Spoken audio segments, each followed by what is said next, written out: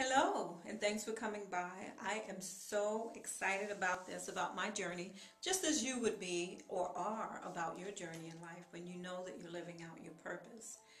My devotion to what I'm doing is humongous. If I can only display, well, I'll try to display in, in words, how excited I am about what I'm doing, that's, that's the best that I can do. Um, life is good Life is good, and I am here to share with you wisdom, tips, whatever. Just to share. You know what's what's so wonderful about life? What's so wonderful about life to me that I've come to realize this very, very important piece about life is that there is no competition.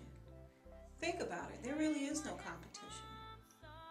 We're all creators. How can you compete when you're creating? If you're creating innately, truly from your soul, you don't have to compete. But society teaches you to compete.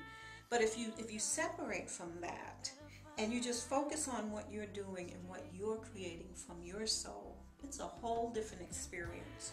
So, again, welcome to my page and my initial conversation with you for my first day as Raise Yourself coaching. That's my new name. My old name was Almost Perfect Coaching. We're all evolving, so I'm allowing that evolution to take place in my life. Are you allowing that evolution to take place in your life? So, back to purpose. What is your purpose in life? What is it that you really, really love to do?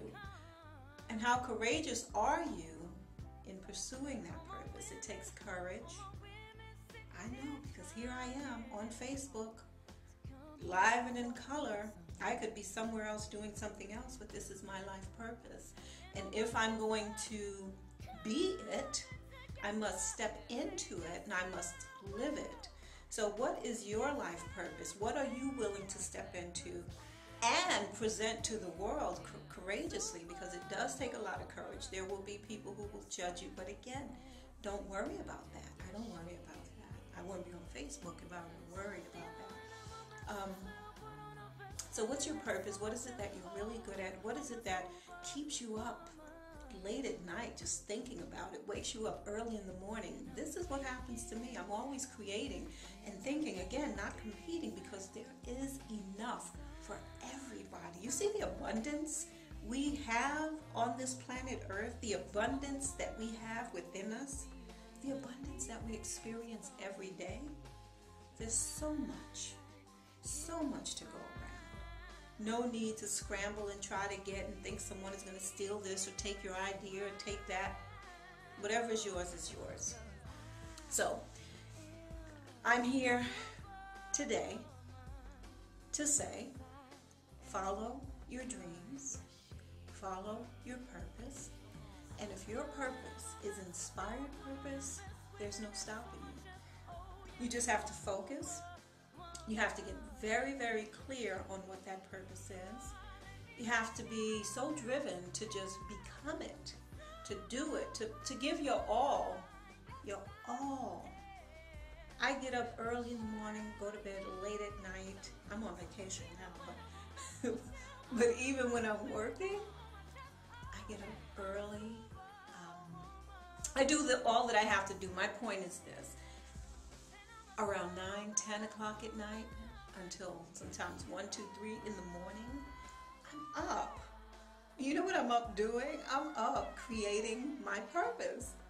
And I'm so excited about that, you know, and, and the only way, listen, I, I attribute that to the inspiration because some nights I'm nodding over my keyboard, trust me. But I am still trying to push through that, you know, but I and, and I do it. But I do know when to just kind of give up and go to bed. But my point again is are you living your purpose? Are you putting in the time? Just think about it. And until then, I'll see you again. Um, I'm going to do a weekly video and plus, you know, some insights during the week, which you can um, sort of chime in on. Um, and I hope you st stick around until we meet again. Namaste, which means the God in me sees the God in you. Take care.